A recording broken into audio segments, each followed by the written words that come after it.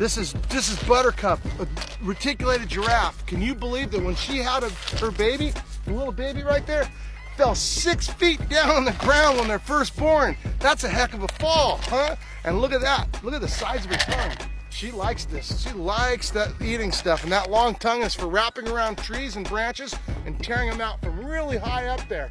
And can you believe one more crazy thing? She has seven vertebrae in her neck, just like we do. How in the heck? I don't get it. My neck doesn't look anything like that, does it? I think mine's kind of short and fat, but then again, so am I.